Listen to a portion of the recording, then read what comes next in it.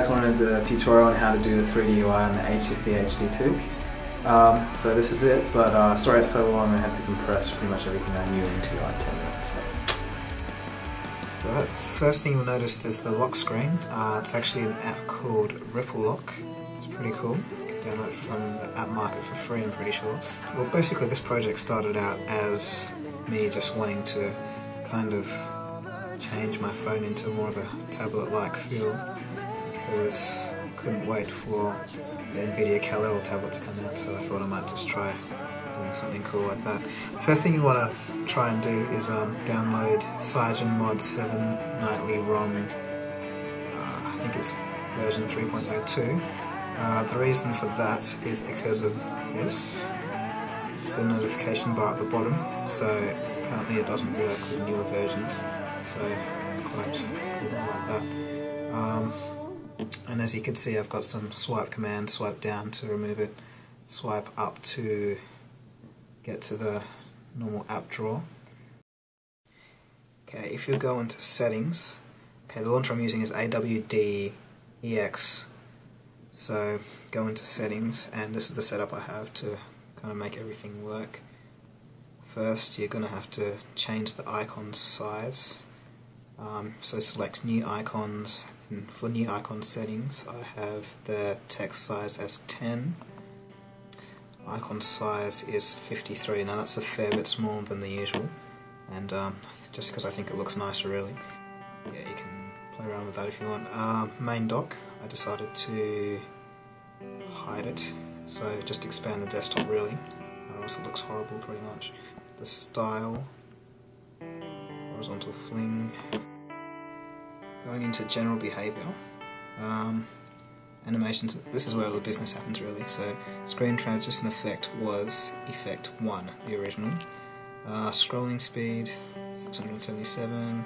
Desktop bounce, now this is important, if you have it too high it just looks silly, so 28 is what I have it on, but because the dock is hidden at the side, to have this to actually open up the app drawer. So there'll be no way of doing that if you had that. And this, as I mentioned earlier, was just to hide the status bar. That just pretty much gives you that secondary option, secondary motion you can see there. But to get the actual main flipping, what you need to do is download multi-picture live wallpaper.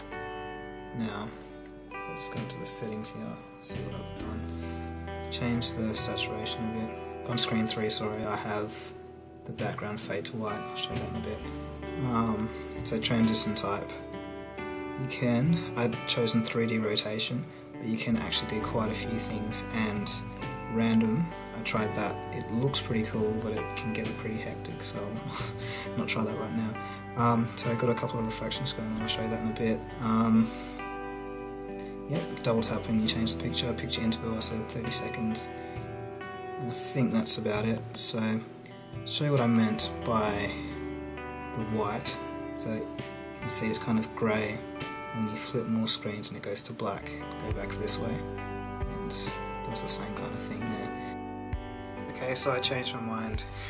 this is what happens when you put it on random transitions. So, you know, it's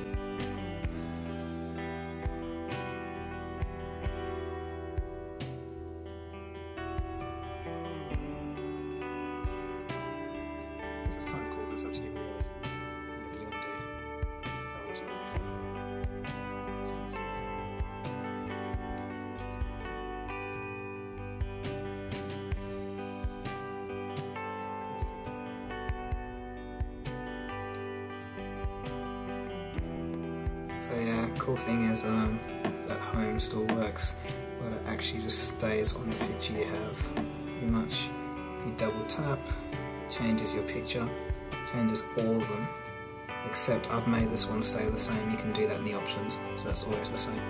Yes, you see when you double tap one, changes all. So go back, double tap, it's changed, and that will be changed. It's quite interesting just having variety. Every time you look at your phone, it's always different, which is really great. Works fluidly most of the time, but as you saw, a bit of stutter, but that's very rare. So that's why I recommend this ROM as well. It's fast. It's a lot faster than some of the stock new phones that are coming out. Second thing you want to gonna do is download Honeybread theme for AWD launcher. So go settings, themes, and preferences. You can see it's Honeybread. Download that, install it, and that gives you stuff down the bottom. If you can see it, it's a bit blurry. And kind of, if you get an option, say, um, or like this Google is a bit different.